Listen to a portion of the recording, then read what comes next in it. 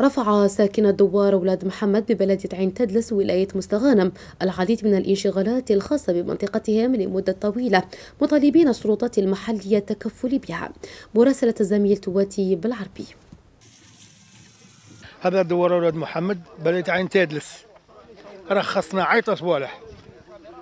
الماء ما كاش الماء ما كاش ماشي تقول. كاين شي بلاصة تشري بالسيتيرنا. وتريسينتي كاين البن تاع الفورال هذه 400 500 كيلو آه، متر على على على الدار تاع بوه ولا تاع جدة ولا. ما عندوش تريسينتي والغاز الغاز رانا راقدين عليه وفايت لي زيكوي حاشاكم. هذا ربع صوالح أي مير رانا ندوماندوه؟ شحال من مير دوماندينا؟ شوف حنايا كاين اللي عنده 80 عام. هنايا يهود قريب 5 كيلومتر باش يجيو كبرى يخصنا centre هنايا. ناس كبار الله غالب عليهم والله ما يطيق يمشي يهود 5 كيلومتر 6 كيلومتر باش يجي يدير تكه ولا يدير passeport ولا يدير حاجة. وطلبنا شحال من مرة؟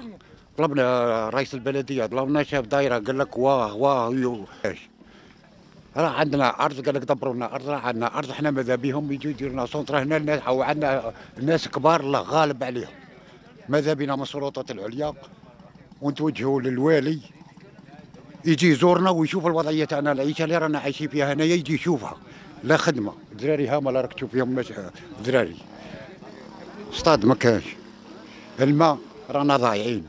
والله لا نشرو بسيتيرنا شي خاطر الدراري نرسلوا الدراري يجيبونا بالجيريكانات ما يخص الانشغالات المطروحة من قبل ساكنة دوار ولاد محمد ببلدية عين تدلس أولا فيما يخص المركز الصحي يعلم الجميع أن المركز الصحي يخضع للخريطة الصحية يعني توفر عدد معين من عدد السكان.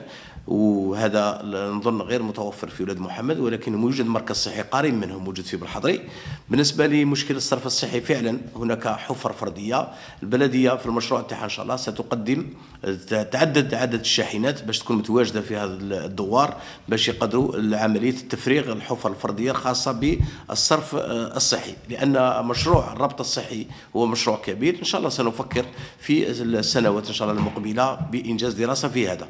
فيما يخص المرة الملعب الجواري فعلا المنطقة زاخرة بعدد شبانها ولكن هي أراضي فلاحية. إذا توفر عقار غير فلاحي سيمكن بطبيعة الحال إنجاز ملعب كالدوائر الأخرى في هذه المنطقة. بالنسبة للربط بالكهرباء فعلا المشكل مطروح في هذه المنطقة وسنسجل عملية في إطار البرنامج القطاعي للولاية. آه، التزويد بالماء في الدوار هو يزود من ولاد محمد ولاد محمد يزودون من خزان الماء الموجود في الحضري. ولكن هناك دراسة طرحنا المشكلة على السيد والي الولايه في زيارته الأخيرة يوم 17 جونفي. ونظن أن الدراسة ستؤخذ بعين الاعتبار وهي تكلف تقريبا المعلومات اللي عندي 5 مليار سنتيم. وبذلك يمكن حل بعض المشاكل بهذا الدوار. والتنمية إن شاء الله مستمرة في هذه البلدية.